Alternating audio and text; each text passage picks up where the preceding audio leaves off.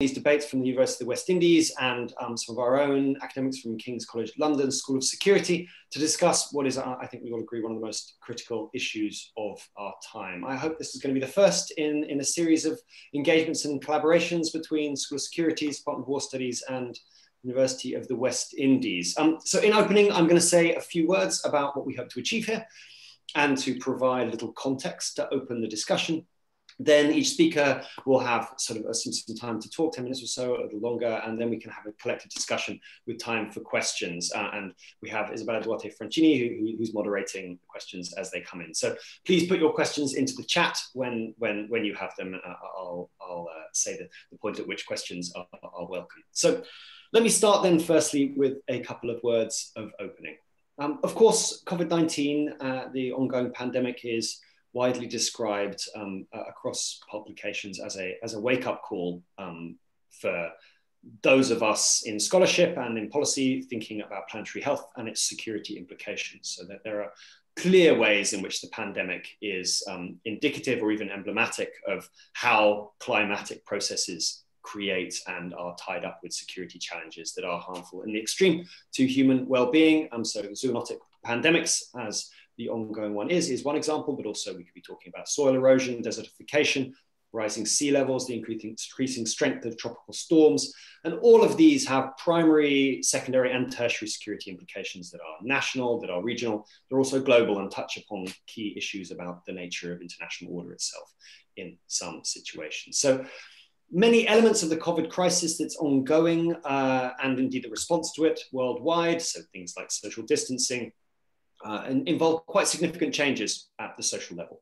Uh, they involve significant governmental action and significant expense also. So there's some degree to which maybe there, there, there, are grounds to hope, and perhaps we can have some elements of a hopeful discussion today, that um, the COVID crisis will set the diplomatic efforts soon to come at the next COP meeting in the UK later this year in a new light and perhaps you know allow or foster efforts by the international community to to move towards a response that's adequate to the scale of the global security challenges that are tied up with climatic processes. But uh, and one, one, would think indeed that, that you know that the point about us needing to be prepared and to take action in advance to prevent this kind of thing might, might that lesson might have been learned uh, and, and, be um, deployed in relationship to the wider climate crisis by negotiators. But with that kind of hope, I think we can also see some grounds for pessimism in thinking about global climate security in the light of COVID, um, inequality in the distribution of vaccines, um, and there's centralization around the wealthier nations. It is reflected, of course, in the unequal distribution of the costs of managing climate security risks, um, where those, uh, to some extent, experiencing the front line uh, of the climate crisis uh, bear the highest costs. And in, in some senses, the questions and challenges of solidarity uh, around climate in the aftermath or, or, in the shadow of COVID, I think are, are, are, significant in this context. So, you know, with these kinds of issues at stake, uh, how could COVID-19 not impact and have, have a role in relationship to the UN discussions uh, around COP? around climate change. Uh, um, so I, I, in a sense that the question is, is, is, what will that be? Um, now turning now to this event itself, um, what we're doing today is we're bringing together some scholars from the University of West Indies and School of Security to think through and discuss uh, in a kind of open way on the academics in, in, we have here are, are all experts in, in, in, particular areas, and I hope there's going to be some exciting synergies across our interests. Um, but to look fundamentally about how, at how pandemic COVID-19 frames the global security implications of climate change.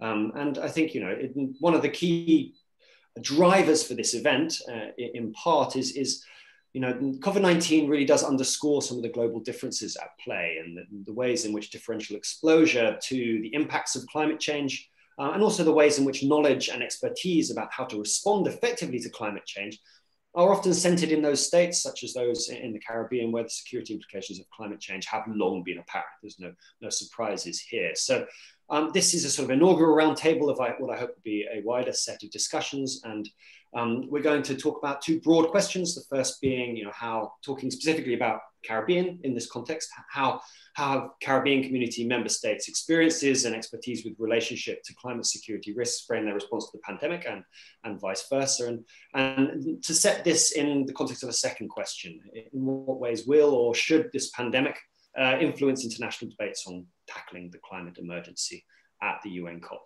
2021. And so we are really exceptionally privileged to have um, Dr. Suzette Haughton and uh, Hugh Sealy, Dr. Suzette, Hugh Sealy um, from the University of the West Indies. Um, uh, Dr. Haughton is head of Department of Government um, and uh, senior lecturer in international relations and security studies at the University of West Indies. And uh, she's also herself a, a, Department of War Studies alumni. So we're delighted to that, that, that, she's come back to join us um, uh, for this discussion. Um, Dr. Hugh Sealy is a, lecturer on climate change at the Center of Resource Management and Environmental Studies at the University of West Indies, um, Hill, Barbados. So sorry, I'm, Dr. Haughton is at, at Mona Campus, Jamaica. Um, he's a research fellow in the Windward Islands Research and Education Foundation and a, the director of the UNFCCC Regional Collaboration Center. He says enormous hands-on experience in relationship to environmental science and development questions and studying um, environmental impacts in the Caribbean region. So I'm really excited to hear um, both of their reflections. And from, from our side, um, uh, in, in, School of Security, we are delighted to have um, Simon Chin Yee, who has significant experience himself in international organizations in relationship to the UN. Um, ESCO and himself and his research examines climate change conflict in relationship to vulnerable populations with an emphasis on the African uh, region uh, and and his research is also focused on global climate negotiations and their relationship to national context. So I hope he can bring some of that knowledge to bear. And finally, we have Dr. Hillary Briffa, also from uh, School of Securities. She's the recipient of the US State Department's inaugural Emerging Young Leaders Award and one of the inaugural Hans Morgenthau Fellows. Her research um, focuses on small, small states and post-colonial actors in the international systems and the way in which agency and questions of autonomy um, play out here. So she's currently involved in a project exploring uh, the implications for multilateralism, um, particularly in the context of small island states of the post-COVID era. So I'm really excited to open this discussion uh, and um, we'll start please with, um, uh, if I might open the um, open the discussion to Dr. Suzette Haughton. and if you'd be willing to open, I really look forward to this discussion and the debates that follow. Thank you so much for coming and uh, look forward to the conversation.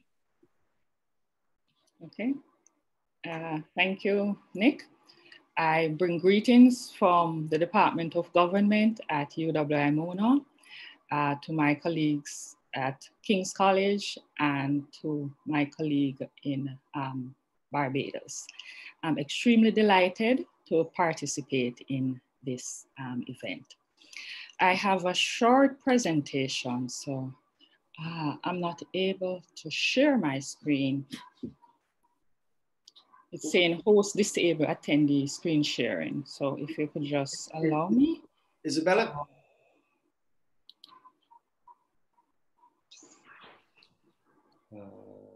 If not, then uh, let me just um, check that, bear with us a moment. Um, check if it's working now. It is now? Okay, let's see. Oh, perfect. Okay, let's stop. Oops.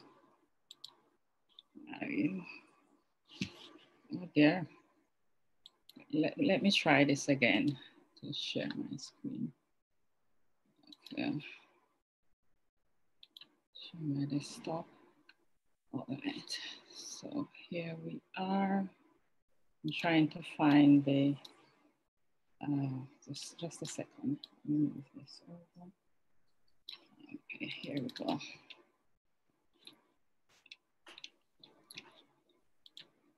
Okay. All right. Move this over here. Okay, so my presentation today, I'll be looking at um, Caribbean climate security and COVID-19 pandemic. I hope to do this in just about 10 minutes. Oops. Sure what is, oh. Okay, so this is a map of the Caribbean region showing the Caribbean island states. Here, Jamaica and the other um, island states. If you note carefully, the states are surrounded by either the Caribbean Sea or the North Atlantic Ocean. Okay, my approach, I'll be looking at a brief definition of climate change and climate security. I'll uh, then go directly into um, addressing Caribbean government's responses to COVID-19 and climate change and the impacts on the citizens and states. Then um, addressing the similarities and differences between COVID-19 and climate change, and of course the implications for human security. And then I look at the overall implications for Caribbean security governance, and I'll conclude with areas for further consideration. Now, climate change is seen as a threat multiplier. It places huge burden on the infrastructure of states and the viability of the nation state and the well-being of the population and the physical, I'm sorry, okay, the physical security um, and environment. And climate security refers to um, people's, communities, and states' capacities to manage these climate-induced um, threats. In connecting COVID-19 and security and climate change, it's important to note that COVID-19 and climate change are considered as existential threats for the Caribbean region. Climate change risk factors impact negatively on human security.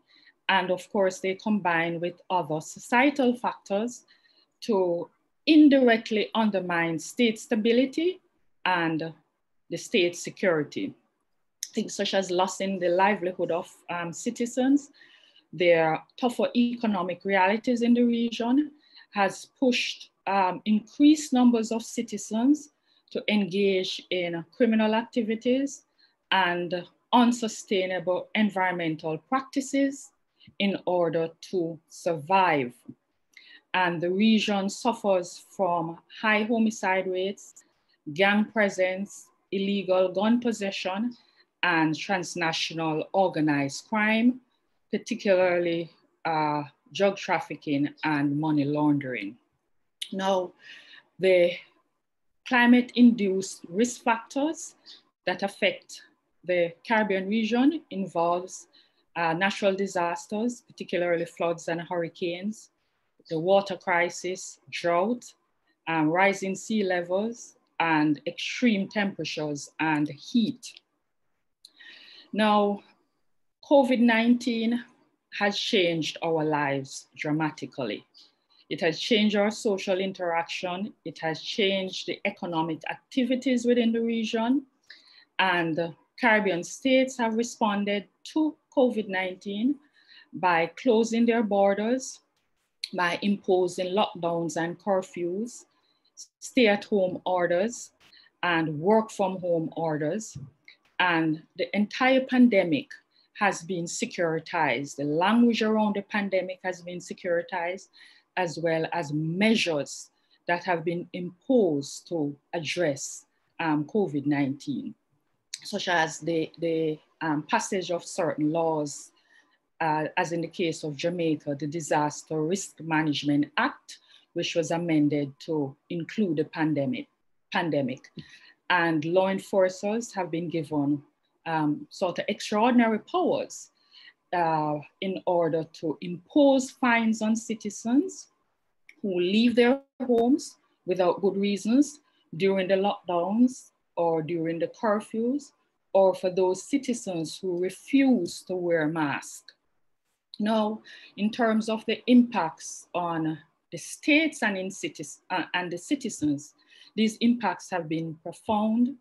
Uh, impacts have been seen in terms of the public health emergencies, the economic pressure, additional economic pressure that the state, uh, um, in the states in the regions have, uh, have faced, and also the deepening economic and, and debt crisis and this has resulted negatively on individuals.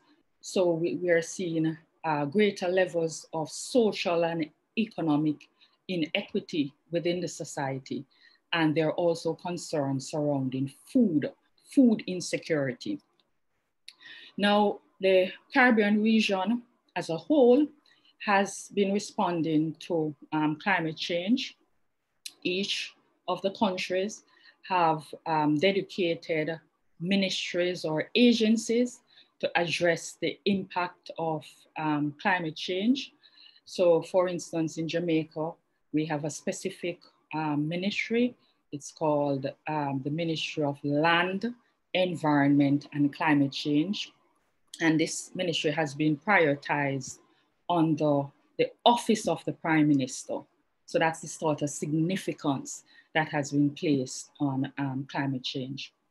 All members, um, Caribbean member states have signed and have ratified the Paris um, Agreement and the countries have laid out certain plans to um, address renewable energy sources.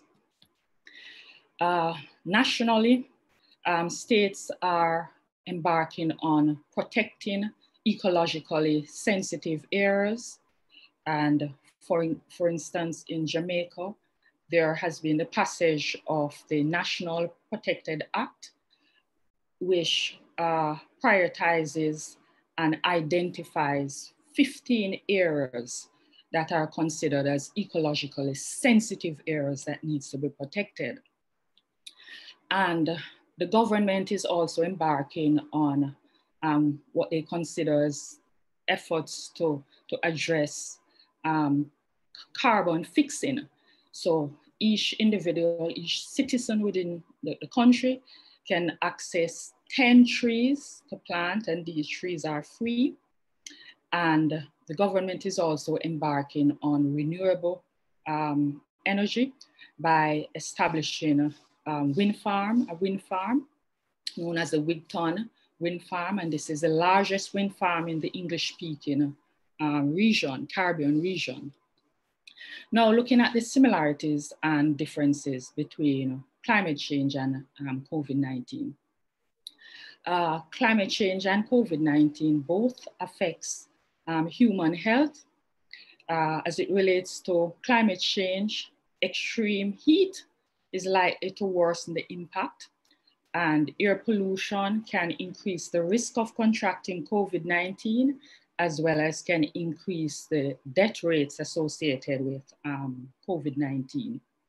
Likewise, uh, climate change, poor uh, air quality due to greenhouse gas emissions affect human health. And of course, this can also result in uh, loss of life.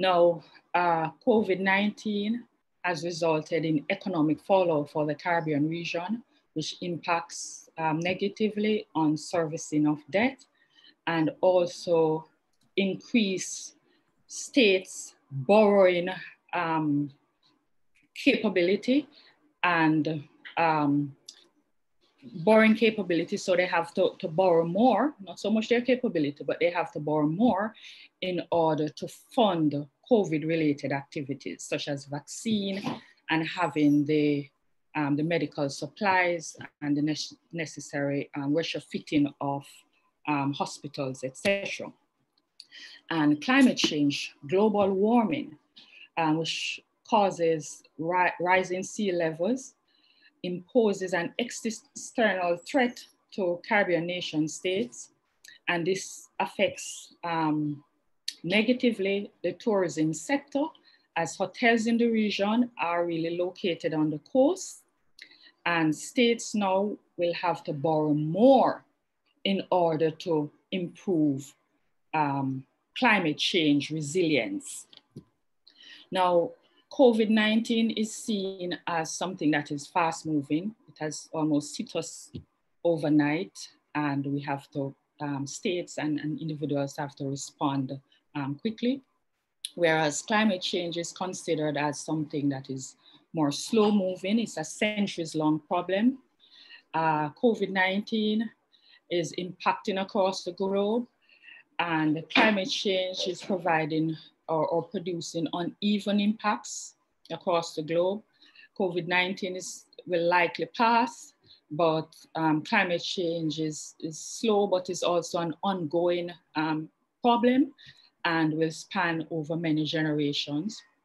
in terms of the responses, COVID-19, the responses from, from government, from individuals, the, the responses were immediate. Concerning climate change, the response is, is a little slow and uneven. And also in terms of public perception or public expectation is that uh, there should be immediate action and, and response from the government. Um, and these responses should be translated into uh, policy response and should impact on behavior change. Whereas for climate change, the, the public expectation is a little different. It's, um, there's a lower expectation as it relates to an immediate response, and people are less likely to immediately change their behavior. But um, people, and, and the why, why this is so is because the people have the perception that this is um, climate change is a lower risk as compared to COVID-19, which is seen as a higher risk overall implications for the Caribbean region as it relates to security governance. There's need for improved food security, social protection, and health. There's also need for enhanced national security protocols to address severe natural disasters and the strengthening of government and civil society institutions to meet the challenge of disaster management. And all of these uh, measures should um, prioritize the needs of the most vulnerable within our societies. And finally, in terms of the conclusion and areas for further consideration, there's need to think about vertical agriculture to align with how um, buildings and cities have been expanding um, in the region. Uh, vertical agriculture to deal with um, high-rise buildings and to also embark on innovative irrigation systems. There's also a need to switch to electric cars and for people to change the way they live. So our lifestyles must change and even the way we eat um, should change. There's need for sensitization and preservation and also about conservation. And importantly, um, Caribbean govern governments will need um, public finance in order to address issues that will emerge and that are emerging from um, climate change and COVID-19. So I thank you. That's my contribution in terms of presentation today. Thank you very much, um, Dr. Haughton. I think some really interesting, um, some really interesting points here, particularly around the, the way in which um, climate change, you know, is perceived as being this kind of lower risk phenomena relative to something like COVID-19. But of course, COVID-19 is, is, is supposed to a much longer term process and, and indeed the costs are probably likely to be higher uh, over time. Now, I, I, think what we'll do is I'll, I'll, give everybody their chance to talk and then we'll, we'll have a discussion at the end. Um, thank you so much. And um, now I'll pass over to, to Dr. Sealy um, next uh, and, and uh, to, to speak if, if you're happy. Uh, well, well, thanks, Nicholas, and and and thank you for for having me, um, and and and welcome to all the participants. I'm afraid I have no slides. I have no prepared speech, so I'm gonna I'm gonna free flow, okay? Um, and I'm not a security expert. Um, um, my forte, if I do have one, is is talking about climate change. Um, and one of your first questions, Nicholas, was, was do we have any particular expertise or better perspective on has how to deal with COVID because we're small island people and we, we're, we're having to deal with a climate emergency? Um, and I thought a lot about that question and, and I, my simple answer is no. Um, uh, at least I don't think so, but I'll, I'll, I'll draw upon that. But just imagine the situation in Barbados where we had a change in administration in 2018. Um, the economy was in dire straits. We went to the IMF. We, we had 170 something percent debt to GDP ratio. We spent 2019 trying to dig ourselves out of a huge financial hole, and we were getting there. 2020 was supposed to be a year of celebration. We were supposed to bring Barbadians from all over the diaspora to Barbados. Every month, we would bring back people. And we started well in January, went into February, and then COVID hit. Within weeks, our tourism went to zero. To zero, right in the middle of our tourism season, the peak of our tourism season. The net result being a 20% loss in GDP in 2020. We went from a 5 billion US dollar economy to a 4 billion US dollar economy in one year. And we are in an IMF program at the start. So when you ask me how we dealt with COVID, I'm, I'm surprised that I'm still talking to you. I'm surprised that I still have a job and, and a lot of us don't, and and and that's a problem. So let me go back then to to the question about whether we handled it any better than than others have. I think some of our statistics or public health statistics are showing, yes, we've had less less cases, less hospitalizations, uh, less deaths on a, on a, on a per capita uh, uh, basis we do have a significant geographical advantage in the fact that we're surrounded by water, and and and, and therefore it's fairly easy to close to close or or to manage or or borders. Yes, things we did not do well. Uh, we're supposed to be a Caribbean community. Uh, did we did we approach uh, the, the COVID-19 situation collectively? Was there any coherent CARICOM response to COVID-19? I see Dr. Haughton shaking her head because I agree with her. No. It was every island for itself. We even closed borders on ourselves, on our own citizens trying to get back home and left them stuck in neighboring countries. Did Barbados do well by not closing its border? That's a question as, as to whether that should be on the plus side or the negative side, because at one stage in 2020, we were COVID free. free. We fought it and we blocked it. And then we reopened our borders, perhaps, or we never closed our borders, let's put it that way. And tourists started to come back. But then they came back with the UK variant. And now we're back into a lockdown again. And we're going to have to face that as, the, okay, well, how do we come out of this safe? Um, and the only passageway that we see is, okay, we all get vaccinated. But as, you, as you've clearly indicated, uh, on the vaccination front is every country uh, for, its, for itself. And, and we are way down the, the, the, the totem pole uh, when it comes to receiving vaccines. Although Barbados has done significantly better than other islands because of vaccine diplomacy from India, not from more traditional developed country partners.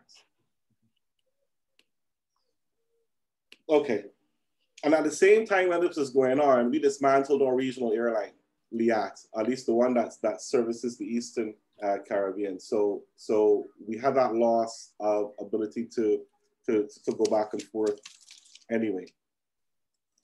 What did we do well? I think we planned well because we saw it happening in Europe, we saw it happen in the US. We had a couple of months of, of, of leeway that we could, we could plan and therefore we built out purpose-built um, uh, quarantine facilities, and, and, and we did that rapidly, and that and that allowed us not to overwhelm or or hospital facilities, and, and make sure that all COVID-19 related uh, cases could go to this specialized uh, facility. We relied heavily on what's traditionally a strong public health program, at least in Barbados, where we've had socialist democratic uh, governments for, for uh, decades now, uh, with, with significant expenditure on education and health. Um, and, and, that paid off because we have the polyclinics. And even then, we, we thank you, Cuba, we still board um, over 100 nurses uh, from, from Cuba who are still here uh, helping us. I think one of the good things we did from a business standpoint is we maintained communication with the cruise ship industry. Even though the cruise ship industry had shut down, uh, Barbados became a home port for several cruise ships. Uh, operating with skeleton crews, but we managed to get the passengers off of the the cruise ships. I think that we built up some some brownie points uh, with the with the cruise ship industry, and that may redound to our benefit in the future uh, with with more uh, cruise ship passengers coming uh, per year. Never waste a good crisis. I think it was Naomi Klein. Uh, she was talking about shock doctrine, um, a Canadian author. So I think this this reliance on tourism. I think it was obvious to us before, but it was it, it was made cruelly apparent that that we are over reliant on, on, tourism. I think all of us have taken that on board, both the public and and, and the private sector. And, and, and, and there's going to be a strong, strong push to, to diversify uh, our economy. Um, even within the tourism sector itself, we're looking to, to uh, that model to see does that model really work? Have we have we moved now to the mass tourism type of model? Should we pull back from that? And now we have this long stay welcome stamp where we're trying to bring uh, people in for 12 months to let them stay here, work here, spend their money here, etc. Um, we were losing a lot of the tourism dollar anyway uh, because of the, of, of the model that had been set up. There's a new focus on agriculture and and I and I really really pleased about that because that seems to be an alignment where where you have a crisis, there's a there's an impact on your on your supply chains. Uh, people get worried that that that the supermarkets are not going to have food, and all of a sudden there's a mad push back towards agriculture. Everyone starts to grow things back in the backyard um, again, and and large farms start start switching back to to to uh, producing uh, vegetables and fruits for the local market. And that also then exposes the, the, the fact that we don't have the water for irrigation. So now we're pushing towards a massive national water reclamation program where we're going to spend about 4% of our GDP, uh, 4% of our GDP over the next few years uh, to, to put a reclaimed water distribution network in place to allow for better agricultural productivity as a direct result of, uh, of this feeling of insecurity that we that we, now have because of, of COVID-19.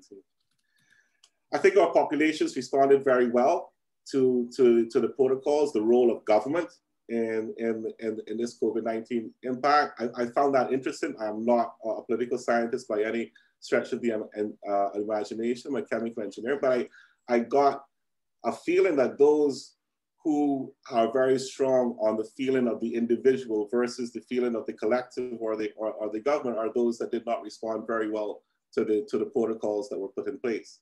In our island, there, there is a culture of compliance. Perhaps there's, there's a culture of knowing the role of government, and we have had significantly good compliance with wearing of masks, distancing, sanitization, uh, etc. Some would argue that our governments have been too harsh on, on offenders, um, we have put people in jail because of, of, of breaking of, of, of curfews. This, this Easter weekend that is coming up, we are in lockdown mode. We are, we are in stay at home mode. And it's, it's hard. we we missed Crop Over our carnival last year, which is a, a, a social safety valve. And we're gonna, probably going to miss Crop Over again or carnival again uh, this, this year. Does that mean that we have pent up frustration in the society that's going to come out at some point? I, I do not know. On the last week, because I, I, I, said I wasn't going to speak too long, on the turning the question around, Nicholas, on the impact of COVID now on the COP uh, 26 negotiations. And and now I now put on my hat as a negotiator for, for, for the Alliance of Small Island uh, States. So, so COVID-19 has been a disaster for, for climate change negotiations. Yes, there's been a small blip in the number of uh, amount of emissions that, that we're putting out. Uh, but we've delayed for a year and, and, and Glasgow is not guaranteed in November. At least a face-to-face is still not guaranteed in, in, in November. And, and to push back even another year is, is at this time, when we're supposed to be submitting our, our nationally determined contributions for, for 2030, when we're supposed to be talking about the $100 billion goal per year, whether we've met it, where we're supposed to be talking about the new collective quantified goal for climate finance for 2025, or are we going to delay all of that for, for, for another two years? So on the positive side, does this give us a, a chance to do the great reset that, that some, some of our friends at the World Economic Forum have been talking about? Does this give us an opportunity to build forward better? Because I'm not building back anything. I'm not building back any fossil fuel industry. So don't tell me about build back better. Tell me about build forward better. So is this a time now where we can see that, that this is an opportunity for us to, to build forward better? Are we grasping that opportunity? Are, are, we, are we stopping investment? Are we stopping in, in fossil fuels? Are we stopping subsidies in, in, in, in fossil fuels? I'll leave that as a question uh, to the panelists. Thanks, Nicholas. Thank you very much, Dr. Sealy. There's a, a, loads of really interesting stuff. I hope we can take up uh, in, in, in the later conversations. So some of the points are around sort of vaccine diplomacy and which states have been involved. I think in, in the region, I think are, are, is important, and also the interesting reversal whereby the response to COVID in the region has actually produced changes in the way in which management of water and so on is also interesting. But the point you make at the end around climate negotiations is, is, is obviously absolutely critical and, and really important uh, and one we need to continue to take up. Thank you very much for your contribution. That's great. Um, I, will now pass on to Simon, please, um, to, to, to, to, take up the conversation um, going forwards. Thank you very much. You. Hello, everyone. Uh, thanks, Nick, uh, as well. And thank you to to Suzette and Hugh for their um, for their interventions. Really, really interesting on this panel. I very rarely get to speak on panels with uh, with uh, our partners in the Caribbean, and uh, and I've worked with the University of West Indies in Barbados in the past, about a decade ago, actually. And my father's actually from Jamaica, so this is a. Uh, but I actually work mostly on African states, as uh, as Nick said in the introduction. So my intervention, hopefully um, what Dr. Haughton and Dr. Sealy have already spoken about. And I'm going to focus, uh, focus my intervention on climate justice and human security and what that means for the global south in general. And hopefully I'll be able to bring in some examples, but uh, as we have a, a panel full of uh, panelists full of uh, uh, from the region itself, uh, hopefully I'll just complement that.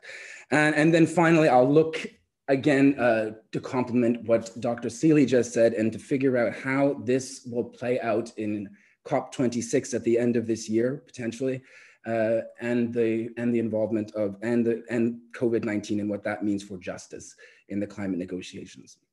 So in terms of climate justice itself, or maybe I should be calling it climate injustice, actually, uh, this is there because uh, it's the it's the least those the most vulnerable uh, that are least able to adapt that are feeling the, uh, the greatest effects the feeling the effects most acutely. So these least developed countries are in the global south.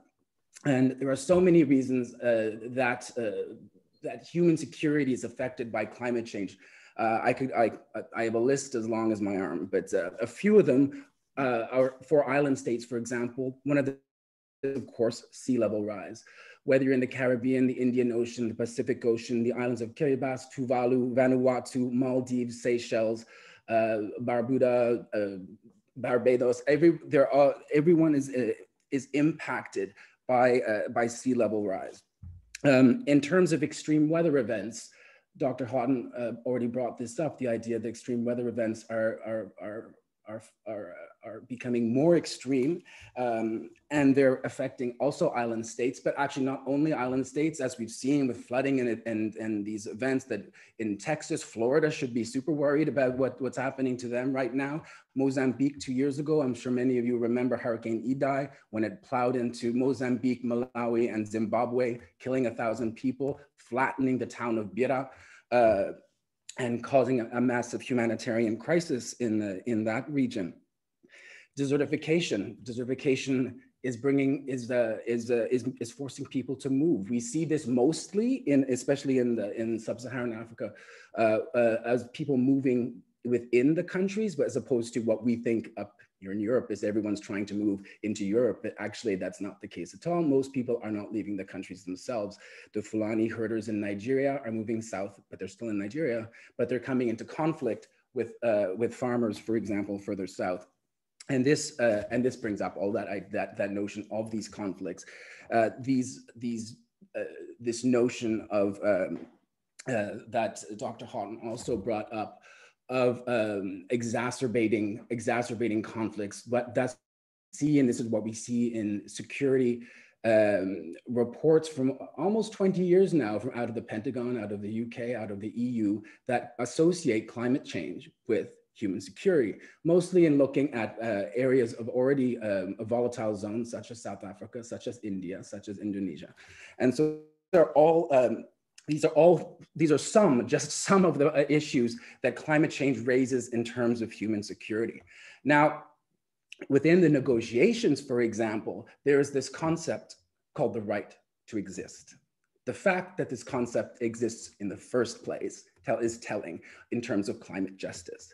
And uh, Dr. Sealy, I'm sure uh, you could speak better on this than I could as being a negotiator for AOSIS. But one of, but if you're from one of those, a small island state, for example, you're literally fighting for your right to exist within the climate negotiations. So there are two sides to this, though. So the first side, so one, so if we bring up this idea, this notion of the climate refugee, a climate refugee is not officially in the international lexicon uh, at the moment. Now, should it be? That's the question. So on one side of the equation, yes, maybe it should be. There's a contingency plan there. If you're Kiribati right now, you might be, uh, you uh, are looking to uh, see where your future is. And if you have this sort of legalized uh, vocabulary, it might be easier for you or maybe important for you in the future if you are being forced to leave. There have been two cases that I'm aware of in New Zealand of small island states um, that have this. But on the, on the flip side of that, this is the problem within the negotiations. On the other side of that, you have uh, the fear that if we accept the fact that a climate refugee is existing, that, it, that this will give those large emitters carte blanche to keep emitting. And so this is what a lot of the island states are fighting against. First, to stop them emitting and to, and to recognize the problem and the issues that or the situation that they are in. But the second is also is also a fear that this will be a, a, an acceptance and that for them it is really really mitigation that is important here uh, not migration. No one wants to be a climate refugee. No one wants to be a refugee at all. Of course they don't. But in the global south or in island states, but in the global south in general, but island states as well, if you're literally fighting for your right to exist, that means you're fighting for your cultural heritage. Your heritage of thousands of years uh, is tied to the sand, it's tied to the sea, it's tied to this, the sun. Um, isn't it great if uh, another island state or another land is giving you place, a place to live? So of the 100,000 people that live in Kiribati, uh, the, the another island state of Timor-Leste has pledged some land for them, but it's not their land. So this is literally how they're going about, uh, it's one of the approaches within the climate negotiations. Now within the negotiations themselves, the climate justice manifests itself in the language in, of uh, common but differentiated responsibilities. Now, this concept has been, it's, it's been there for over 20 years now, right? Under Kyoto, what we saw is that there was that literally between global south and global north were divided. You had annex one, you had annex two countries. Annex one countries were told to go away. Uh, here's the targets you need to reach. You go away, you come back, and when, when you reach them, and they didn't. Uh, under Paris, trying to learn from the mistakes made in Copenhagen in 2009, um, they came up with this bottom up approach. The bottom up approach saying, okay, all states, all of you now go away, tell us what you can do.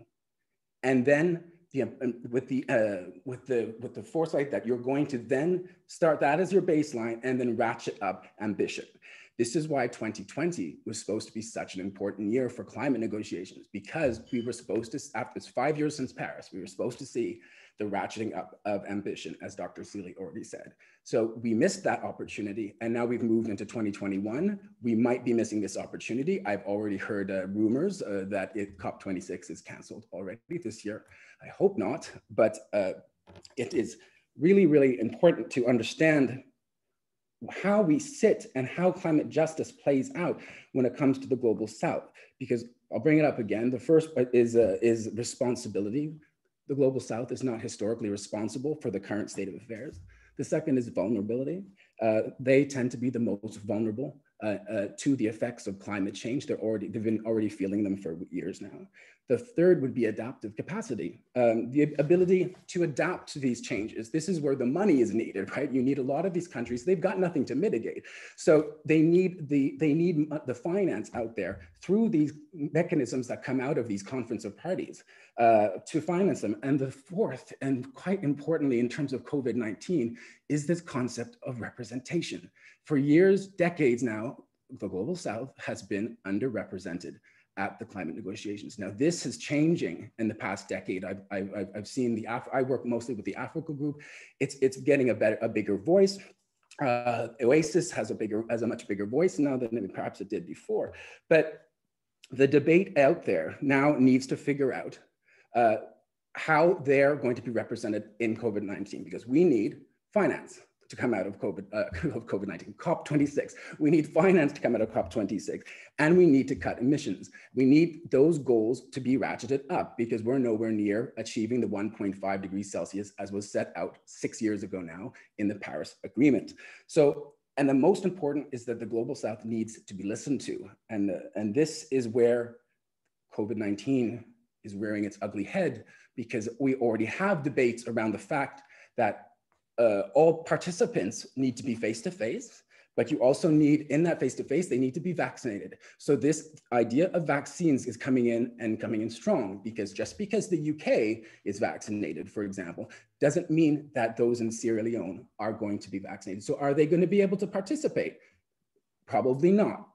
And so this is, this is a, it, it, it's just, um, it's just goes back to this idea of representation again and having uh, having countries already underrepresented this is potentially putting them back in uh, putting them back again so uh, with that i'll close my remarks there actually um, i'm happy to discuss any of those things i've been bringing i've brought up there Thank you very much, Simon. Again, really, really useful, uh, I think, taking forward this conversation. And I think uh, the, the line so far seems rather more towards pessimism than the hope that I, I had at the beginning. But I, I guess, unfortunately, around um, climate change and climate justice and these broad questions, perhaps there are good grounds for more pessimism than hope. But I, lots of themes there. Again, I think I hope we'll, we'll take up some more in the discussion. Um, Hillary, let me quickly pass on to you so, so we do have some time to, to talk and, and take some questions from, from those who've come to listen to us. Go ahead, Hillary. Thanks. Could you activate my screen sharing the same way you do activated Dr. Haughton's, please?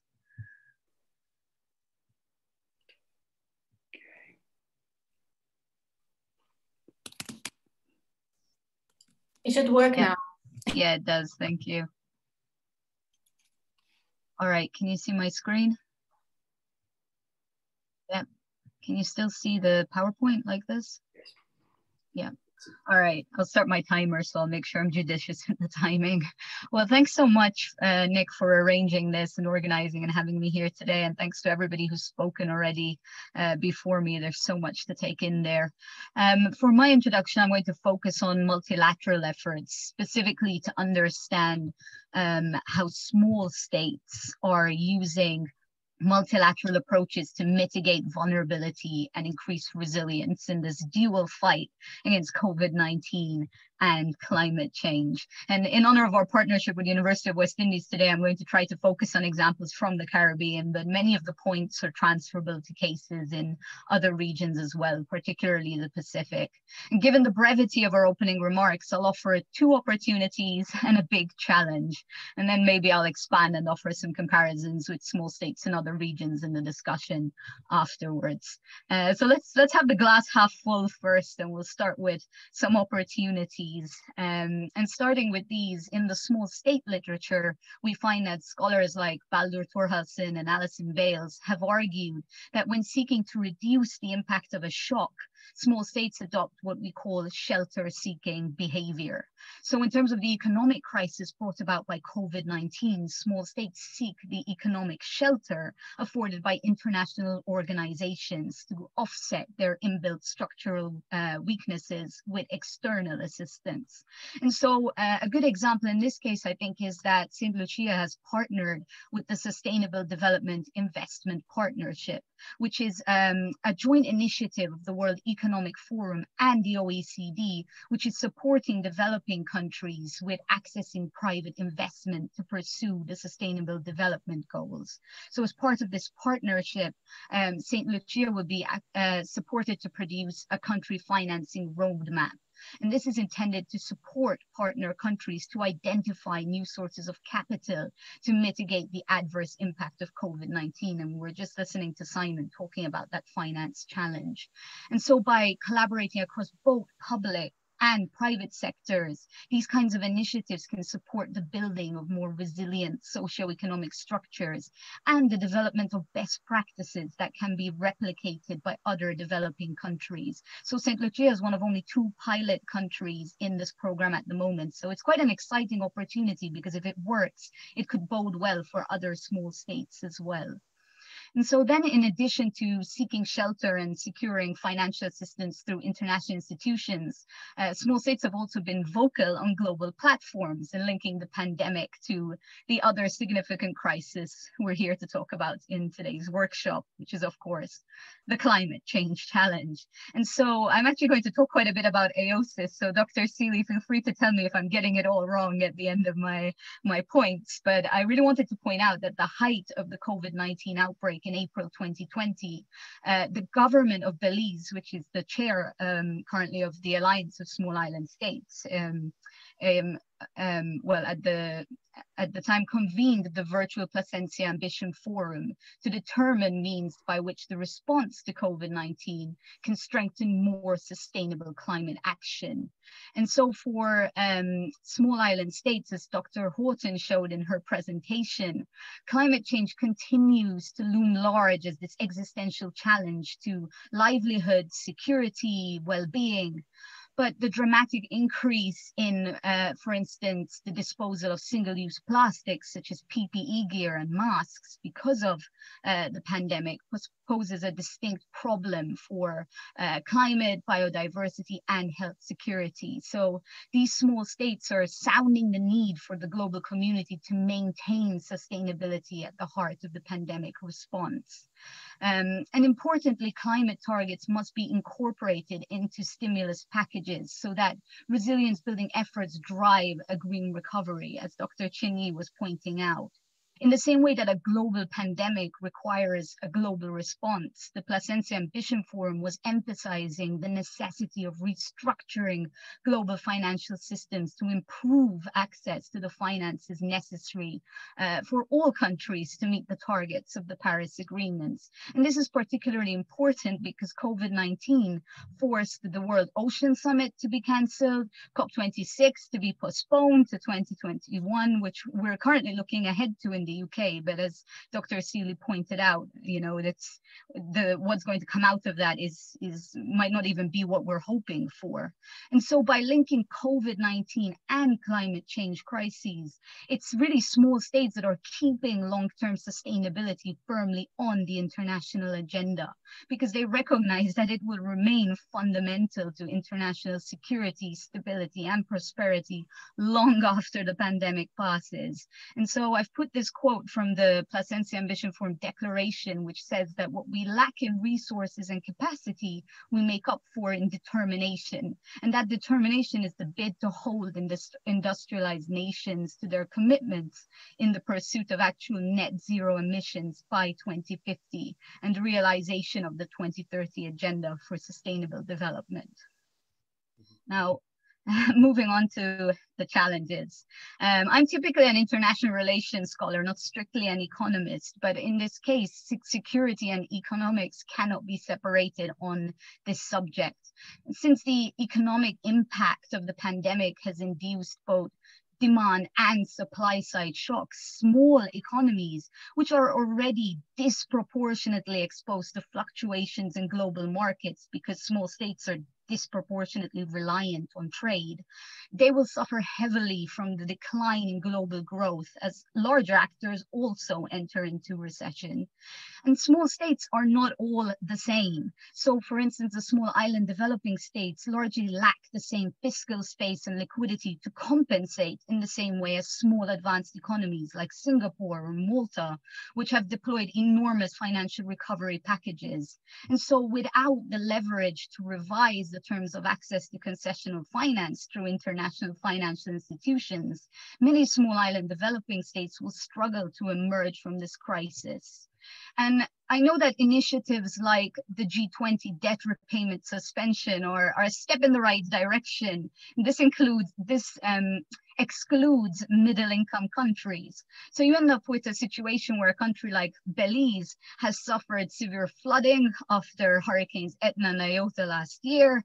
Uh, crops were destroyed, homes, infrastructure. And so do, are they not you know do they do they not deserve and need assistance? It's not there's a disconnect there. And this is why i've put this quote from christopher coye who is a minister of state in belize finance ministry in an interview just this month with climate news uh, where he said we find ourselves underwater and at risk of sinking even deeper we know that small states are predominantly policy takers, not makers of international financial policies. And so there's a limit to what they can do without structural change to build resilience and enable green recovery and development.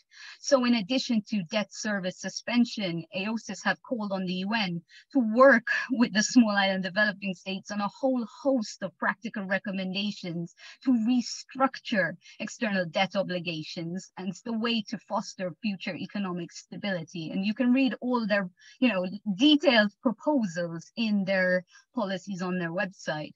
But at the same time, to realize these fundamental changes to international rules and regulations, you still need the support of larger actors within multilateral fora and so Lois Young, who's uh, Belize's permanent representative to the UN, um, explained it perfectly when she said, we need to have some big voices stick up for us. We need to have some big brothers, big sisters. We're not in the league of the big countries in these institutions. We can do our best, but we need some big advocates to speak up for us. Um, and so I think that um, we can see that, you know, the small island developing states cannot enact all these changes alone. And so concerted and committed assistance from larger counterparts will remain essential for the fiscal position of these small states to be improved to enable them to recover from COVID-19 and to divert resources to essential security matters, including the fight against climate change. But so long as the largest and most wealthy powers continue to adopt protectionist and insular strategies like the ones that prevailed through much of 2020, you know, we'll keep having workshops for ideas. AOSIS can put forward the best ideas and policy plans, but we'll actually see little implementation. And so I wanted to close with this uh, statement that um, UN Secretary General Antonio Guterres shared at the Placencia Ambition Forum that I was talking about earlier, where he said that the social and economic devastation caused by climate disruption will be many times greater than the current pandemic. And now is not the time for retreat.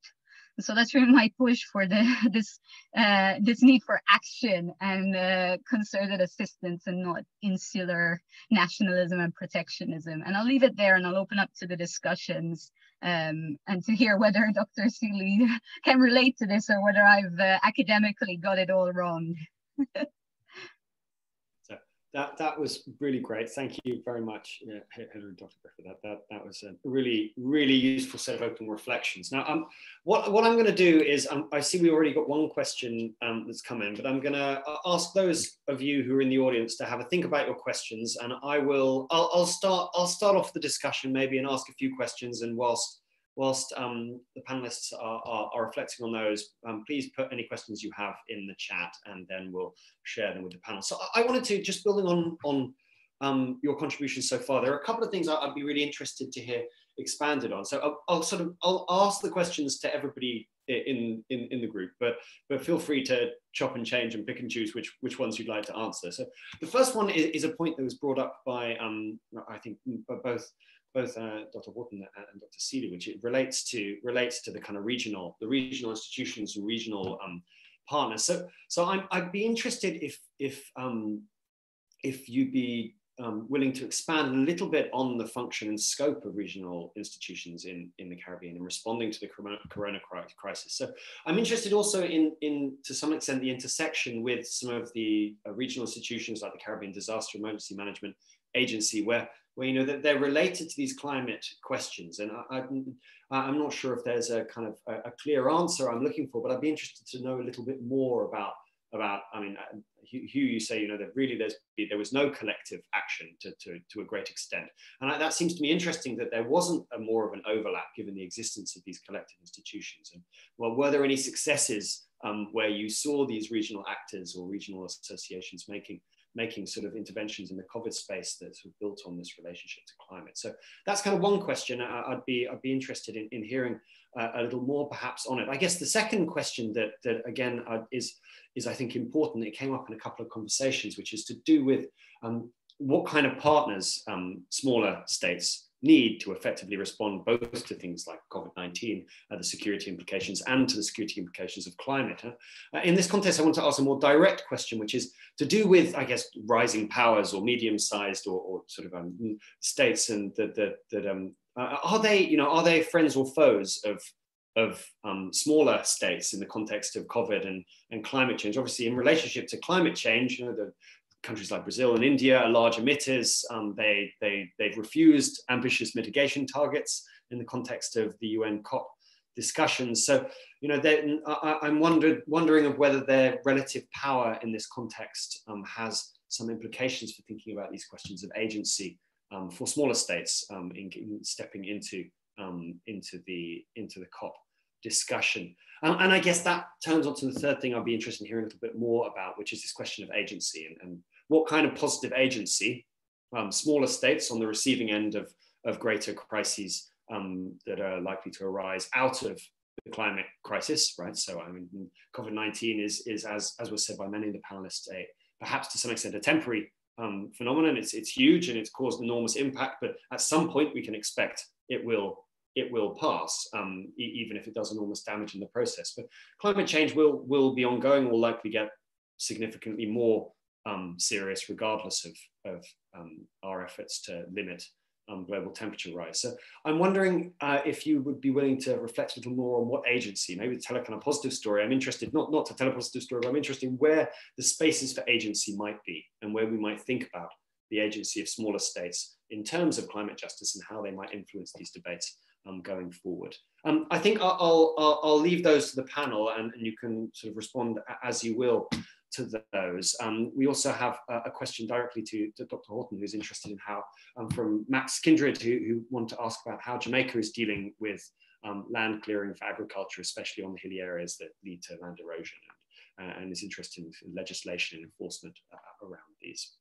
So let me now pass back to, to the panel and, and um, perhaps we should, uh, we'll go in the same order we did with, with speaking, starting with Dr. Haughton, if, that, if that's all right. Okay, thank you. Uh, Max, thanks for your question. Uh, the question is about how is Jamaica dealing with the land, with land and clear, land clearing for agriculture especially on the hilly areas that leads to erosion? And how does it deal with it in legislation and in real life with enforcement?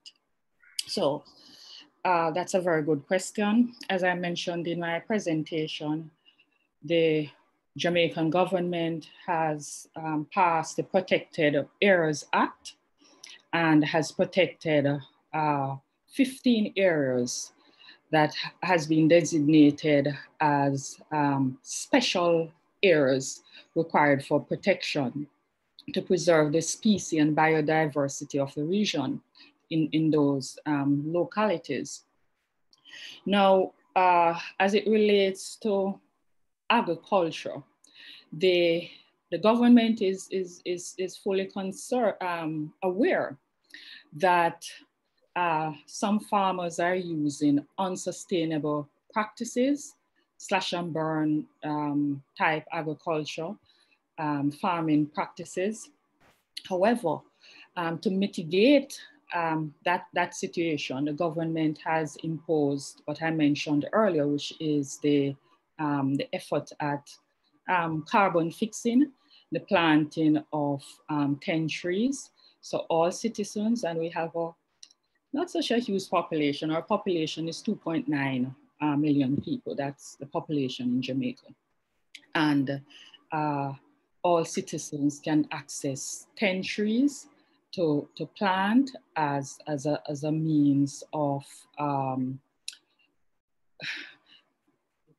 fixing um, the, the, the, the, environment and not only that, but also adding to um, to, to the situation where trees have been removed in an unsustainable sort of way. So that is what is being done. Um, there's much more that needs to be done concerning enforcement. And even with the act itself, the, the Protected Areas Act, and the government is aware of that and has indicated that it will be um, embarking on a public awareness campaign to sensitize individuals within the society concerning um, the importance of protecting um, the environment and specifically also of protecting the, the specially designed uh, or designated um, areas, um, the 15 areas that they have um, identified. And uh, so that, that is where it is at concerning um, enforcement and the protection of efforts to, to, to, to carbon fix. Now, uh, in, in part of the, the presentation, I, I, can't remember who, but there was, a, I think it was um, Hillary who mentioned about efforts to um, eliminate um, single use of um, plastic uh, bags and, and sort of styrofoam um, uh, plastics. Um, the government has embarked on that. Um, in fact, I think we're leading in the Caribbean region where that is concerned, um, where a ban has now been placed and citizens are not allowed to, to use um, single, single plas um, use plastic bags and use these styro styrofoam type um, plastics. So that is also an effort that is is made by, by the government. And uh, yeah, so those are the, the main ones now that um, the government is embarking on. Uh, there's much more that needs to be done in terms as, of, of enforcement, uh, but the National Environmental Protection Agency um, is actively operating to ensure that um, endangered species are, are, are um, there's a protection of endangered species and um, is, is, is monitoring all the efforts, the developmental efforts that the country has embarked on concerning where, where um, trees need to be removed to put up residential um, developments. So all those are monitored. There's a process involved in terms of they do the environmental um, assessments to determine whether or not those, those developments um, are, are sustainable or whether or not buildings should be erected in um, certain locations.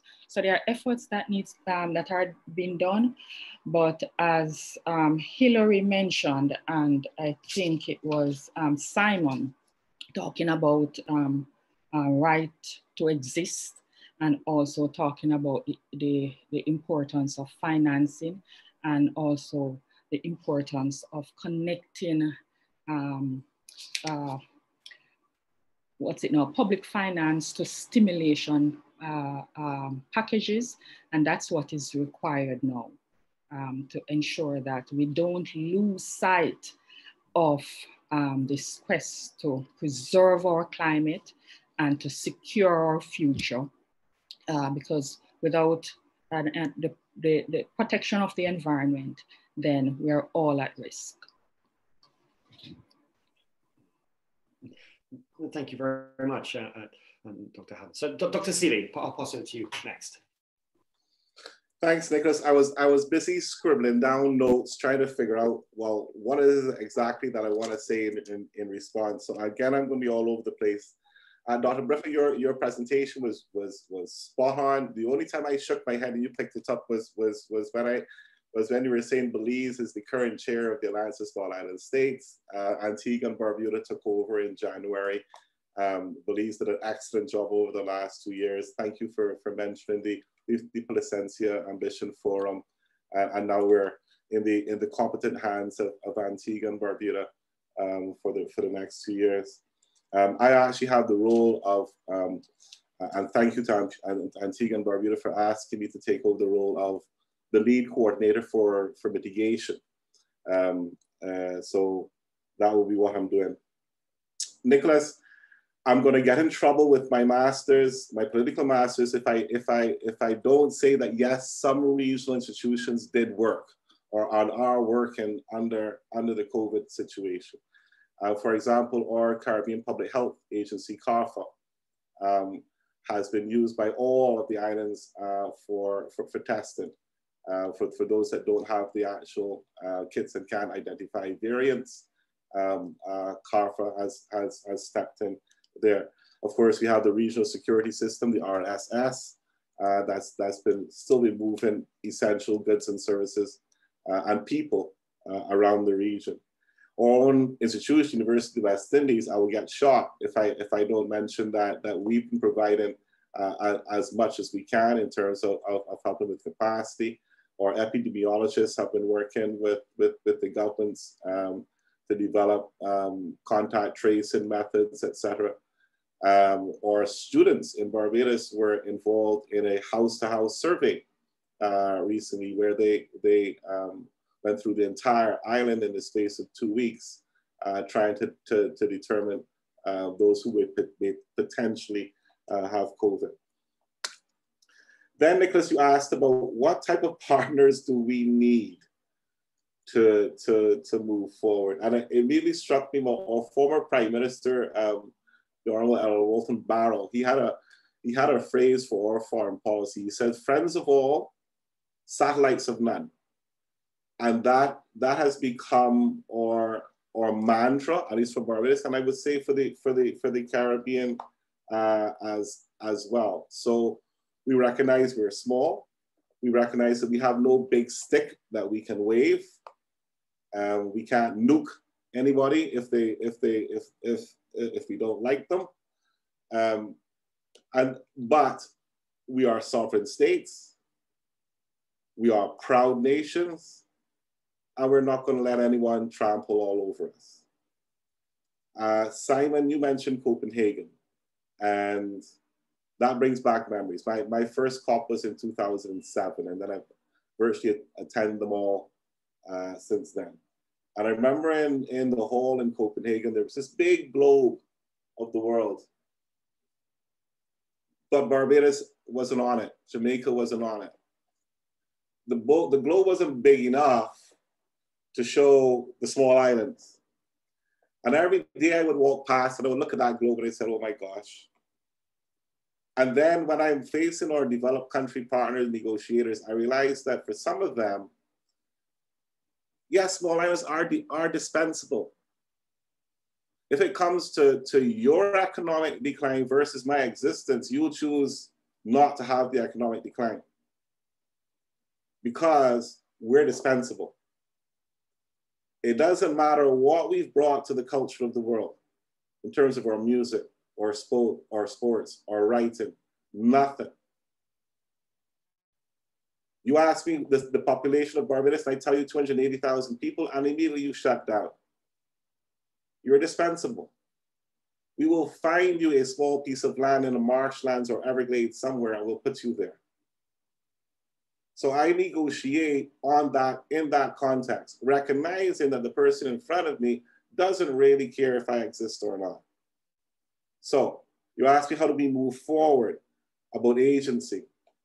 Small islands will always be the conscience of the convention. We are not going to give up. We will not go slowly and silently into the night.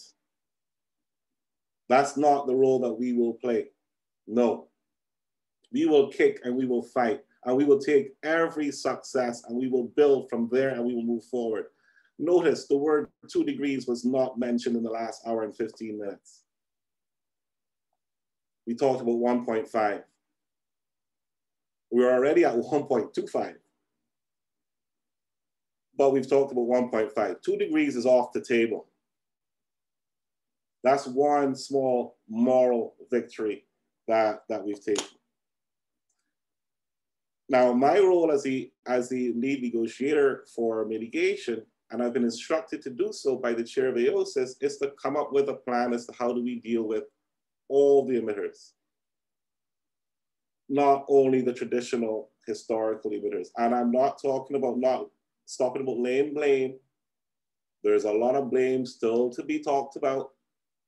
And when you talk about loss and damage, we couldn't get the words liability or compensation into the Paris Agreement. Could not. That doesn't mean that we haven't given up that fight either when you talk about climate justice. It just means we have to move to another front. It can't be within the UNFCCC. All right, fine. But how do we engage with, the, with Brazil? How do we engage with India? How do we engage with China? Recognizing that a ton of CO2 is a ton of CO2, it doesn't matter where it's coming from. Now, I'm not going to talk about our strategy in front of everyone. I'm saying that we're thinking about it and we need to know how to engage. And perhaps the mantra, friends of all, satellites of none, will guide us as to how we move forward. Thanks.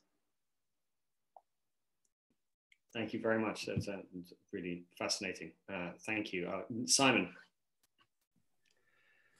Thank you again. Uh, there's just so much to say. I, I, don't even know where to start. Um, I guess I'll start with, uh, with uh, understanding what these actors bring to the table in terms of how they can act in, in the, in the, um, in the negotiations. So in my work with the Africa group, or looking at the, studying the Africa group, what I what I noticed is the change since COP12 in Nairobi on how uh, uh, the Africa group kind of works within the negotiations, and what they do bring uh, to the table is what they have is a, a certain moral legitimacy Dr. Sealy talked about the fact that the island states are the heart and the conscience of the of the of the negotiations, and I'm fully on board with that. And I think what we have here is that you have a set of countries, whether you're talking about the Africa Group or you're talking about uh, AOSIS or the other, the, all of these other kind of groups of negotiators, that can that are not historically responsible. Uh, and also that they just have nothing to cut. So if you have the what they bring to the table, if you cannot uh, if you cannot finance other countries and you cannot and you have no emissions to really to really cut, then then you need to bring something else, and that is this kind of uh, moral legitimacy, if you will. Um, in terms of the groups, but within that, for example, um, uh, the disparity between African states, for example, just because you have one group, they're coming to the table, their strength in numbers. They can talk on behalf of 54 countries, 1.2 billion people. But within the group itself, then you see divides and, and uh, within it, because what finance means something different to Ethiopia than it does to Botswana, for example. Uh, and we witnessed this, but they do come to the table with that one, one voice. So in terms of um, uh, how and who they can work with. Again, I, I, I guess the uh, uh, Dr. Sealy said this already, but the some of the loudest voices in the room are Tuvalu, are uh, the Maldives. They're the ones that, that, are shouting from the rooftops in these negotiations, and it's really important to know, like to to note that. Um, um, but in terms of how to work with other with other larger larger than these new larger uh, emitting countries like Brazil and China, um, I guess they that you need to come with uh, with uh, Oh, I don't have an answer for that actually. like you, you need to come to the negotiating table within those smaller those smaller groups to understand what's important uh, for for those within the Africa group. For example, the Seychelles, Mauritius, they're more aligned to AOSIS than they are to the Africa group, or Egypt would be more aligned to the Arab group than. And the reason that the Africa group in the beginning started to to get to gain more power is there became divisions within the group of 77 plus China uh, where they started to dif differ in their approach to in their approach to the negotiations. Um, there, there is scope uh, in terms of moving forward, uh, in terms of uh, in the lead up to Paris, I was a I was a uh, an, an, advisor to the Nordic Council, and the Nordic Council, five countries. The reason those are five relatively small but rich countries. Um, they were convinced they didn't know how to work with the Africa group. They, they were used to working, they were used to being seen as these clean green countries, which of course they're not, uh, uh, in the negotiations, right? So they were, and all of a sudden the Africa group was pointing fingers at them and saying, no, no, you're not doing what you said you were supposed to do. Where's this 100 billion that, were, that, that uh, is supposed to be in the pots, for example? But and then they because they were they were determined that the paris agreement was going to be a success or at least was going to come out in 2015 and there was this underlying they were convinced that if it was going to be a country throwing the paris agreement under a bus it was going to come from the african countries. So that's where they they they literally hired people to write reports to figure out how to go into the negotiations and how to to negotiate with certain uh, certain of these groups um, so there is scope there, and there's a there, there's there is scope. I'm I'm not unhopeful uh, on on how uh, governments negotiate together. I'm just uh, I guess I'm still a bit pe pessimistic if we're talking in Brazil and India uh, in uh, in the negotiations on, on what they're, they're just such big powers compared to to the small island states, for example. I'll leave it there. Um, Thank you very much. Uh, um, just Tini, that, that's great. Uh, um, Hillary, go, go for it, um, Dr. Briffa. Thanks, thanks very much. And uh, and uh, Dr. Sealy, you absolutely caught me my Freudian slip where I meant to say the chair of AOSIS at the time, and uh, and then the slip. But of course, we know um, Antigua and Barbuda have taken over, and it's important to note as well that they've just that the chair has actually written to President Biden and is is calling for assistance on uh, on these issues, which shows one of the strategies perhaps smaller actors can employ in trying to bring uh, these larger backers on side. And I'm going to um, tackle your question, Nick, about agency, the final question you asked, because I think that's the one I can speak to to build on these themes. And I definitely don't want my remarks to come across as though small states have no agency, especially when it comes to global problems. If we look at uh, the UN Convention on the Law of the Sea, for instance, um, this, this was really born out of in uh, the 1962 when Malta's ambassador to the UN, Arvid Pardo, um, went to the UN and said, we need to designate the seabed as uh, what he called common heritage of mankind, really born out of the recognition that developed states were always going to take these resources at the expense of developing countries. And that kickstart, you know, he fed into the mood of the time, the, the concerns of the non-aligned movement, pushing for a new international economic order, more distributive justice and so on. But but it took off. They built a coalition and eventually kick and kickstarted the process that led to the law of the sea. And a few years later in the 1980s, again on the on the advice of Judge Attard, who is um, currently judge of the internet the tribunal for the um, the law of the sea, but was a founding uh, contributor to AOSIS in its in its origins as well. So showing a nice circle here.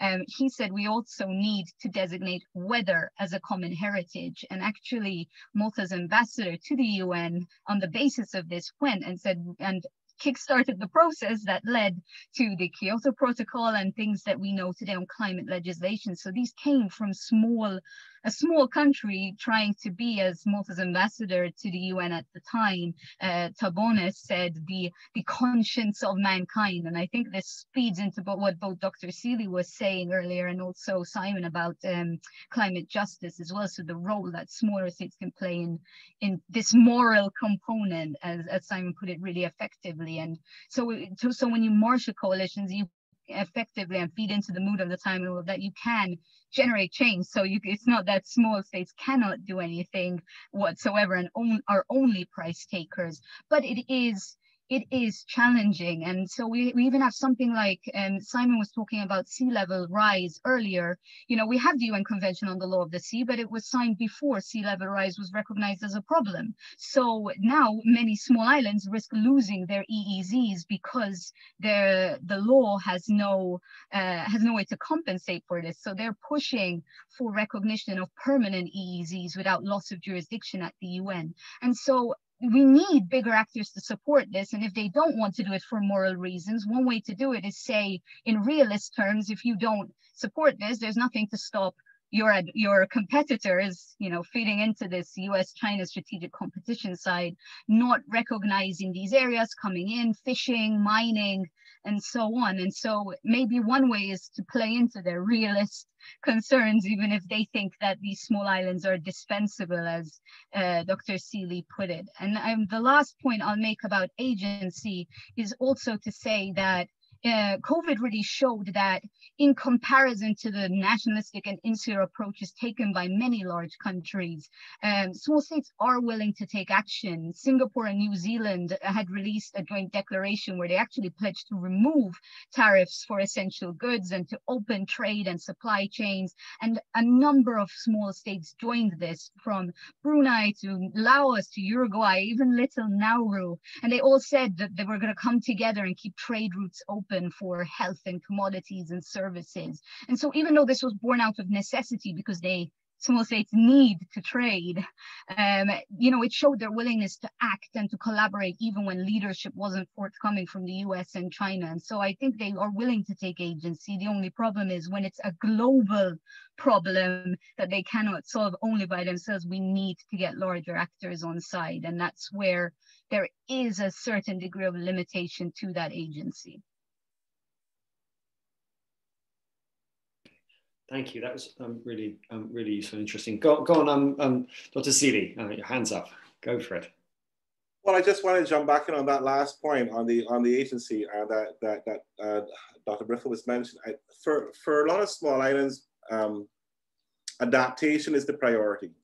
Yes, and a lot of our developed country partners consider adaptation to be a priority. I share that view, yes. But I also think that we can't adapt to a three degree world. So prevention is always better than the cure. Now, would you lend me money to mitigate my emissions in, in Barbados? You probably think it's not a great priority. Our total emissions are 2 million tons per year. So 2 million tons, and the whole world emits about 50 gigatons. So you can do your, your work or your percentages. Now we could stop emitting everything and we won't have much for the, an impact on the global situation. But what it will do is it will create the fiscal space to allow us to invest in resilience. In other words, if you're a small, open economy that's importing fossil fuels, and you can replace those fossil fuels with indigenous renewable energy sources, then it's not a climate change issue for us, it's an economic issue to decarbonize and decarbonize quickly. But to do so, we need access to capital and, and cheap capital because going to renewable energy burns capital. And so, and so the cost of the capital almost defines or 50% of the, of the, uh, of the feasibility of the, of the project. So I just wanted to point out from an agency standpoint, Barbados is, is, is not unique, but in a special situation where we are one of the most densely populated countries in the world. Uh, so although we're 280,000 people, people, we are essentially a small city. And we intend to completely decarbonize our economy by 2010. Let me repeat that. Completely decarbonize our economy, electricity sector and transport sector by 2030. And you all can see, well, that's pie in the sky. Because we're small, we don't have the inertia you have. Because we're small, we don't have the stranded assets that you're gonna have. So we can do it, and we can do it quickly. And we can show the rest of the world how it can be done.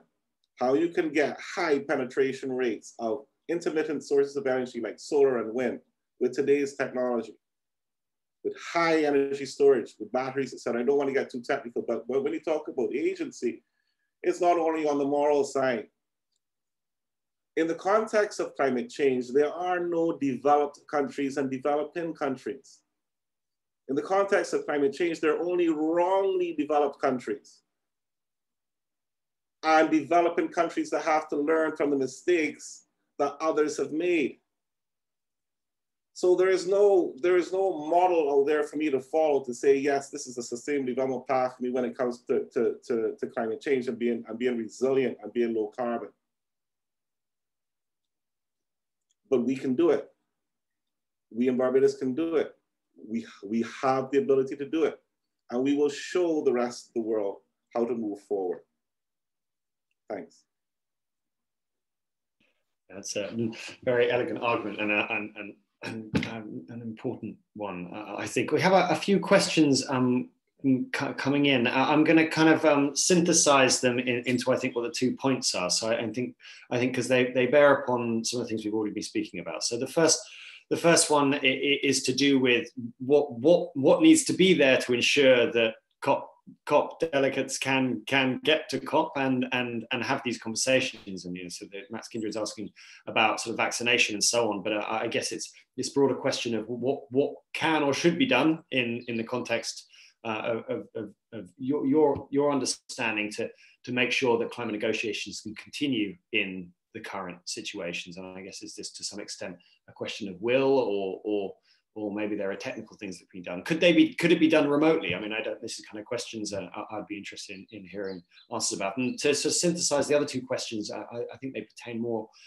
to the question of adaptation and building resilience. Um, so obviously, money is always the issue um, in, in, this context. But what else on, on, top of money is there? What other kinds of support uh, uh, and and uh, and, and action need to be taken. So in particular, Ami's asking about the role of security actors in relationship to climate change. in the context of the UK's MOD's recent report, um, to, to ask the question of, you know, I guess what, what actual security actors could be doing in the context, I guess, of climate change more broadly, but perhaps we could speak in relationship to COVID uh, as well, and maybe if there are any intersections between those two also. Um, uh, Suzette, do you feel do you feel comfortable? I feel you're always starting first, which is terribly unfair if you're the first speaker. So maybe we should reverse the order, so you get a few minutes to think before you have to give your answer. Um, Simon, did you do you feel like um uh, do you feel like you could you could come in and have a have a, have a thought, maybe particularly on what what what needs to be there to make the discussions around um, COP um, happen? Did you address that to me? Yes, yeah, yeah. So I, I, I mean, do, do, you think like uh, are, are there yeah, are there are there um well, is it would it be possible to run it remotely under COVID, um, or are there concrete things that could be done to make it more viable? Um, remotely, once again, if if it's done remotely, I mean, we've seen other things do, been done remotely, but the problem with that is immediately you have what about those countries that have low connectivity? What are those countries that are, what, what what about those participants that are not going to be able to participate because they cannot connect properly. Um, and, and then it, it, goes back to representation, where you see the highly connected countries are the ones that are there and the ones that are negotiating. Um, I think what needs to happen is, uh, apart from what needs to happen, is we need a, a, worldwide global vaccine rollout so that people from all over the from all different ends of the globe are, are vaccinated. If we're going to start traveling around again, uh, and if who knows how many people will go to to COP uh, 26, but the smallest COP I've ever been to, and I've been to eight of them, was 20,000 people. So it's there. There's a lot of actors uh, um, that are that are participating. Um, but saying that, I mean, if we're just to let to have some sort of positive, or uh, if we're going to look at COVID-19, I think one thing, one thing, and climate change is one thing here is that we've seen with granted various uh, degrees of success, governments address a crisis on very quickly. Um, again, varying degrees of success, but at least we've seen we've seen that argument that that that uh, that countries have been making that we're, we need to uh, we're not going to stop using fossil fuels tomorrow. We're going to we need we, we need a plan for 2050. I've even heard 2100.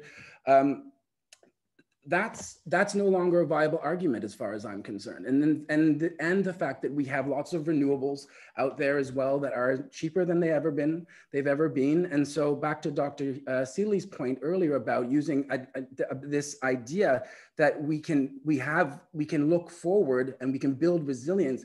The problem with climate change, the problem with the world we live in is we we we base our, our, our, ideas on building for the future based on the past, but we can't do that anymore. We have to build on the future, predicting what's going to happen because of climate change. So if the idea that if we can do anything is take from COVID-19, this is a learnable moment, a teachable moment where we don't build back, we don't go to the business as usual model that everyone's desperate to go back to. We build forward, as uh, I think it was Dr. Sealy, someone said, we need to build forward, we need to think forward. And this is where and I completely agree. A small island state like Barbados could be could be a trailblazer here. But if in, terms of uh, Tammy's question in the chat about security actors and and uh, what this needs what needs to happen is these adaptive uh, capacity uh, problems need to be need to be need to be uh, need to be dealt with. So there needs to be uh, that those projects in place in order for that to happen.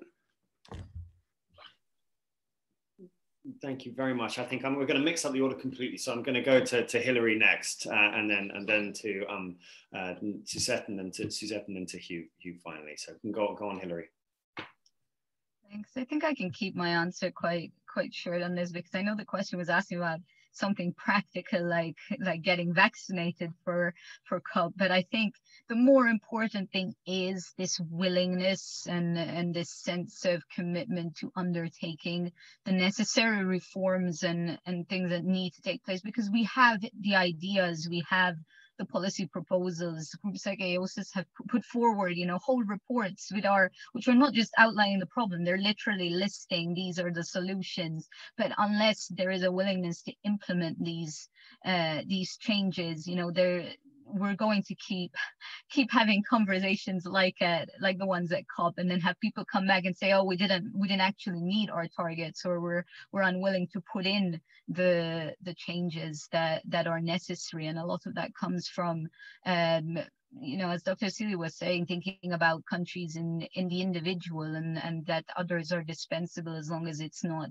affecting, um, you know, your own your own um, your own situation. But I think a problem like COVID has shown us that you are not secure until everyone is secure and we we need to find a way to light that same fire under the COVID challenge and to take um, and to improve things like you know best practices. And because there's another question in the chat about you know is it just finances that we should be giving? Well there's also the capital of knowledge and information.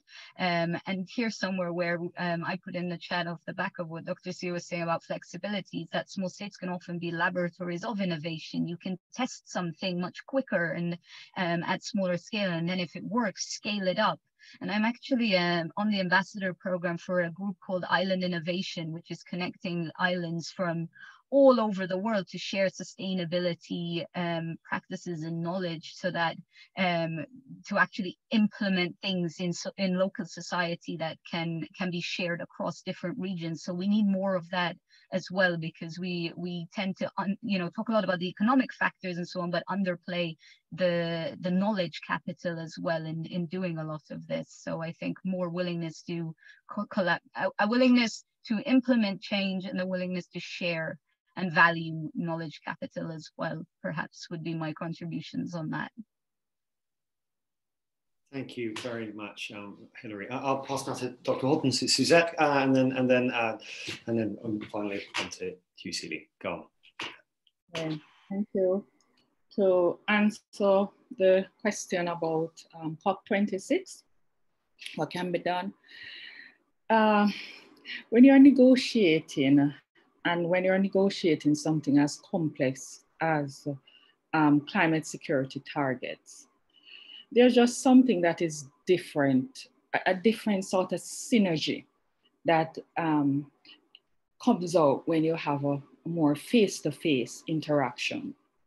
I think the, the possibility exists for, despite the, the challenges, for it to be done remotely. but I think we would lose that synergy if it is done remotely and is not done um, in a face-to-face -face, uh, modality.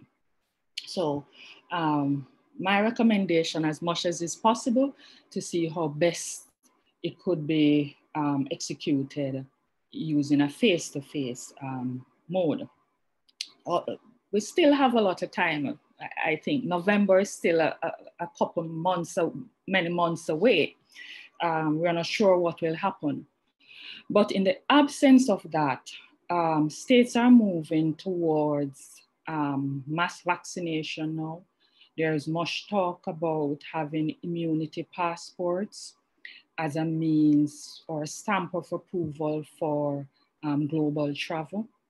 And I think that's the way that states should be going, um, immunizing or um, um, doing COVID-19 vaccination of its populace. And once that happens, then um, persons would be able to travel and um, COVID, um, COP26 might be able to, to happen face to face. Concerning the other, um, and, and I know there are, there, there are issues about um, vaccine diplomacy, which was, was um, brought up earlier about the access to vaccines and how disproportionate the system is for small developing countries. But we are hoping that um, those issues will be overcome in the um, upcoming future. For um, Jamaica, for instance, we have received 50,000 um, doses of vaccines from India. And um, PAHO has mentioned that 28.7 million doses, doses of vaccines will be um, give, given to Jamaica by May of, of this year. So we're hoping that, and I, and I think this is just one, one example of one country, but I think other countries are making, taking the steps necessary to have their, their populations, um, vac um, the vaccination being um, given to their populations. Concerning the, the, the second question about um, security actors and what can be done um, to um, address issues of uh, migration and um, climate related conflicts. I, I don't think that we, we should leave this just to security actors. This is everybody's business and we need to build resilience across the board. Governments need to, to, to build resilience to deal with the impacts of, of, of climate change. Um, law enforcers have to improve their capacities to deal with um, issues that will emerge, climate related issues. As I mentioned in my presentation, climate change is really a threat multiplier. So there will be um, increases in uh, transnational organized um, crimes. Law enforcers and security actors have to build their resilience to deal with, with those issues. But uh, we also have to get everybody on board. The private sector is an important component in terms of, of how they conduct their production processes. We have to um, encourage them to use more sustainable uh, means of, of, of, producing their products and um, selling their services. And importantly, we have to get the women on board. Get the females involved, energize them, um, sensitize them about the issues concerning um, climate change and have them contribute, as well as our um, mainly civil society groups. Um, they also need to come on board. So it's about building resilience across the board to deal with this huge ex, um, existential threat of climate change that um, is facing us at this particular time. So um, that, that, that's the, the, the, way forward, I, I think. Thank you very much. Um, that's, that's uh, and indeed, it's important. It's the kind of question of civil society actors we actually haven't spoken about so, so much. But I think I, am going to pass on to Dr. Hugh Sealy, and I think you're going to have the last word, um, Dr. Sealy, because uh, I, I, think we've already run over the length of time I said this this webinar would go on for. So thank you all for sticking around. But I think Dr. Sealy, please take the last word, and then I'll, I'll, I'll thank you. Um, well, thanks, Nicholas. And I am conscious that that we we've had some patient participants and, and, and we've gone on for, for, for, quite a while. So I'll try to be as succinct as I can. The first question on the sharing of the, of the vaccines, yes. Um, I suspect that all delegates, um, if, if we get to Glasgow in November, will be vaccinated. I haven't gotten my vaccine yet. Um, if I, if I would love to get the J and J because it's only one, one, one shot. Anyone with a J and J vaccine out there who can send my way, let, let me know. Uh, but we'll take any. We'll take the Chinese, we'll take the Russian, we'll take the Indian, whatever. Just get us vaccinated and we'll get and, and get us there. Why? Because it's terribly important to move forward the agenda. The agenda is now getting blocked within the UNFCCC. Um, if we get to COP26, it's got to deal with four substa, um, sorry, four subsidiary body agendas.